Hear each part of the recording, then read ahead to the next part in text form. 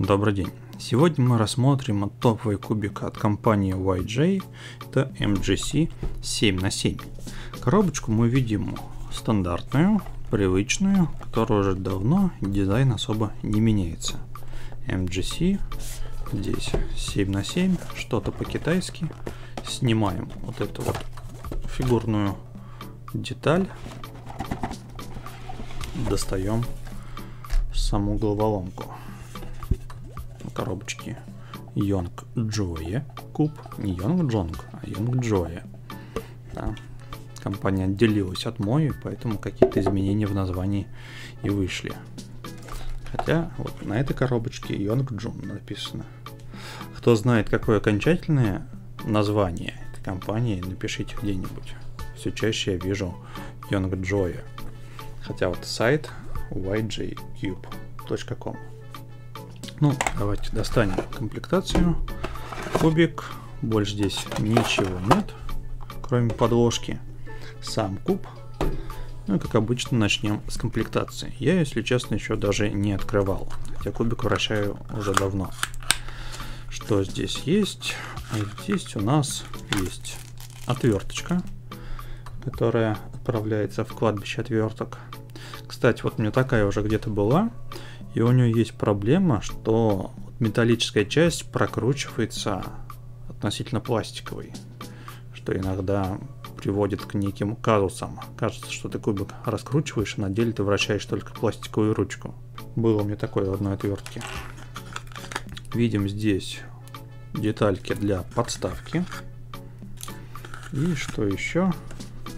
А, запасные магнитики они на вид одинаковые.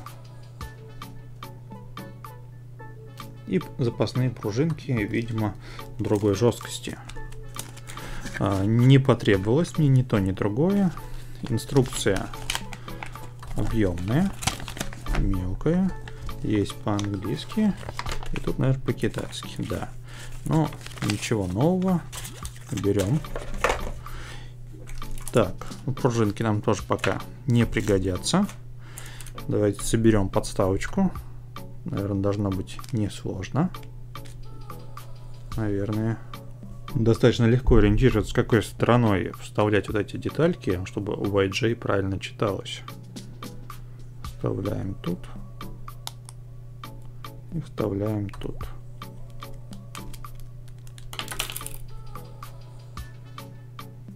Бывает. Вот такая в итоге получается подставка. Задумка, конечно, интересная, но бессмысленная. Почему-то она, не знаю, может как-то что-то с ней не так, она разваливается. Ну, если поставить, поставить в нее кубик, вот так. Ну, возможно, я криворукий, давайте на этом не зацикливаться. Все, берем. А, смысл делать разборную подставку, когда можно просто поставить на уголок и засунуть в коробку. Всегда все так делали, все помещалось. Но это не самое важное. Как сказал, задумка интересная, но бесполезная. Сам кубик. Я напомню, что серия MGC уже достаточно большая. Есть кубики с 2 на 2 и уже получается по 7 на 7. И все здесь кубики хорошие. Какие-то очень хорошие, это начиная с 4 на 4 и выше. Какие-то, ну, нормальные. Это MGC 3 и Light. До этого были еще две версии трешки. Здесь я напомню, стершийся логотип, буковка М золотая была когда-то, которая стерлась в Борг за 100-200. Достаточно старая двушка, есть еще MGC 2 и Lite, но ее я покупать не стал, только по той причине, что ее цена была больше, чем у 4 на 4, мне показалось это излишней жадностью компании. Да и хороших двушек сейчас полно, особой необходимости не было. Но, начиная с четверки, я все головоломки купил и всеми остался доволен. Вот пришло время 7 на 7, и сравнивать мы эту семерку будем, естественно, с конкурентами от других именитых брендов. Это у нас будут Spark от Mofanga X-Men, Мою GTS M и Yuxin, старичок, который уже остался без логотипа. Этот логотип лично отковырял Николай Масон из-за того, что а, здесь на оранжевой стороне какой-то дефект, который похож на второй логотип. А с двумя логотипами э, участвовать в чемпионатах по спидкубингу нельзя. Поэтому пришлось одним пожертвовать. Э, и вот кубик такой остался. С ними будем сравнивать. Размер кубика 68 мм, вес ровно 200 граммов, как заявлено в технических характеристиках. Это, наверное, один из самых тяжелых кубиков 7 на 7, конкурировать с ним может только АОФу. Но это я говорю по ощущениям. То есть вот эти кубики Spark и Yuxin, мне кажется, легче. Но могу ошибаться, разница там незначительная. Размер чуть меньше, чем у Ауфу. Примерно такой же, как у Юксина. И чуть больше, чем у Spark. Spark, по-моему, 67 мм. В руках лежит комфортно. Больше всего из этих кубиков 7 на 7 я крутил Юксином. Именно на нем я впервые сделал сотку sub-5. Им же я в основном собирал на чемпионатах по спидкубингу и свои результаты менее 5 минут по среднему времени тоже на нем. Поэтому к Юксину у меня теплые чувства, и я до сих пор считаю его актуальным кубиком. Я обязательно им еще покручу, он меня всем устраивает. Единственное, давно уже анонсировали вторую версию, чтобы, наверное, не было вот этих вот дефектов на крышечках. Ну вот есть на оранжевом, на желтом, что-то такое. Но изначально здесь слегка звенели магнитики. Когда-то такое было. Юксин крутится легко, быстро и приятно. Ну и на нем достаточно много сборок сделано, поэтому он хорошо притерт. После Юксина я перешел на Spark и на нем пытался вот крутить, но все не хватало времени и как бы даже 500 сборок на нем нет. Но все впереди, все будет. А Ауфу, он такой средний, самый, наверное, невзрачный из остальных кубиков, поэтому на нем я крутил меньше всего. Хотя по цветам они, наверное, должны быть близки. Синий, оранжевый, зеленый, желтый. Да, цвета вот как у Ауфу. Если сравнить с тем же Спарком, то отличаются оттенки. Ну, синий более-менее похож. В основном будем сравнивать с Юксином и с Парком. Что можно отметить? Отверстия между элементами значительно крупнее, чем на Юксине, ну Хейс. Сопоставимы с отверстиями из Парка, но если брать возле угловых деталек, здесь отверстия больше на MGC, а если рядовые вот эти все, то больше, конечно, на спарке. Не уверен, что это как-то очень сильно влияет, но, наверное, да, иначе бы дизайнеры этого не делали.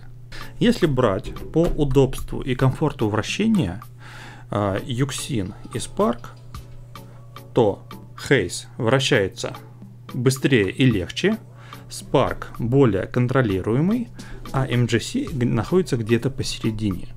И это хорошо.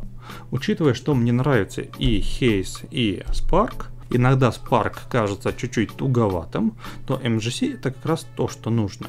Сразу говорю, что Spark кажется туговатым только из-за того, что Yuxin Haze э, излишне быстрый по сравнению с ним. Это ничуть неплохо, и Spark сам по себе кубик отличный. Я уже давно решил, что не буду покупать а, бюджетные бих-кубы. По какой причине? Потому что бих-кубы собираются долго. Крайней мере, я собираю долго.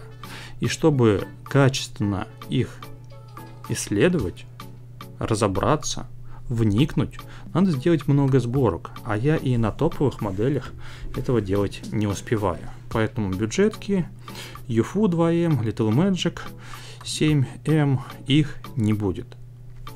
Ну давайте повращаем MGC. Я хотел не затягивать это видео, но как получится. На этапе 3 на 3 здесь все идеально. Ну, на мой вкус. Все комфортно, хорошо и удобно. У меня руки достаточно крупные и ну, Конечно, по сравнению с трешкой семерка крупнее, но все вращается удобно и отлично. Вращение внутренних слоев вполне комфортное. Здесь нет никаких вот этих щелканий, как на Юксине. То есть магнитики в своих пазах стоят плотно. К примеру, в моей версии. Иногда получались некие вот такие вот локапы. Один или два раза у меня это произошло. Что говорит о том, что, вероятно, настройку кубика можно слегка изменить. То есть совершенно незначительно кубик затянуть и, и может быть он станет стабильнее. То есть есть подозрение, что в угоду скорости слегка здесь потеряли в стабильности. Это не точно, но пару моментов таких было, что кубик э, чуть застревал. Все это легко возвращалось обратно и особых проблем у меня не вызвало. Но такой момент есть. Давайте кубик перемешаем, но забирать его не будем. Просто посмотрим, как он вращается и как выглядит в перемешанном состоянии. Такое вот слегка шершавое вращение. Комфортное и приятное. Что можно сказать сразу? Если вы ищете себе первый топ-куб 7 на 7 магнитный, то MGC отличный выбор.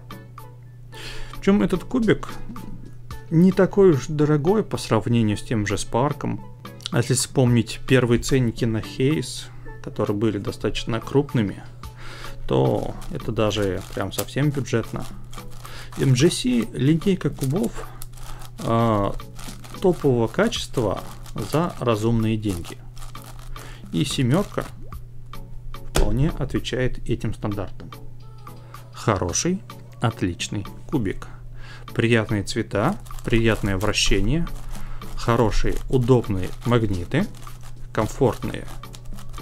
То есть нечто среднее между Хейсом и Спарком.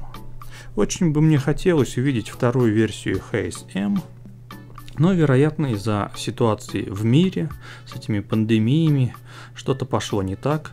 Уже давным-давно были показаны прототипы именно Haze второй версии, но до сих пор не видно. Хотя, с другой стороны, Юксин анонсировал 12 на 12, 13 на 13. Видимо, работы у них не прекращались. Ну а сегодня речь о MGC, и это отличный куб за разумные деньги. Я рекомендую всем любителям хороших головоломок. То есть, если вы начинающий и думаете, какой вам первый топ-куб 7 на 7 купить, отличный выбор. Если вы профессионал и хотите чего-то нового, других ощущений, то вот вам кубик, который чуть более быстрый по сравнению с парком и чуть более контролируемый по сравнению с Хейсом. На этом все. Всем спасибо. Всем пока.